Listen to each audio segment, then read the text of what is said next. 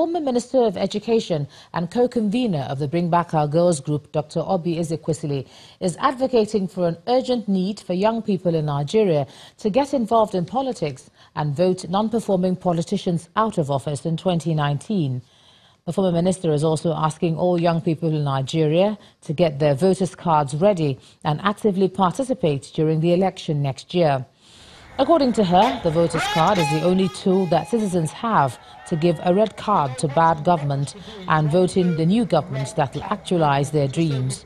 She was speaking at the launch of the Red Card movement in Abuja.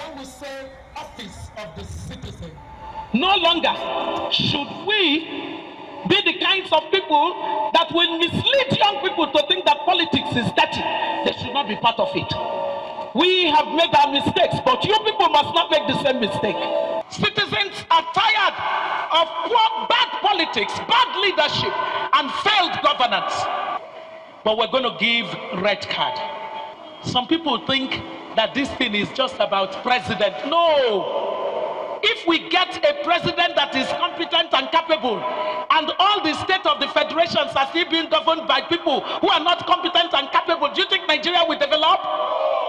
So, what we want you to do is to be so empowered by the office of the citizen that you occupy that you will even go to your own local government and you will call the people of the local government and you will say, if any party makes the mistake of bringing the layabout in this community and put them on their ticket, we will send them running away.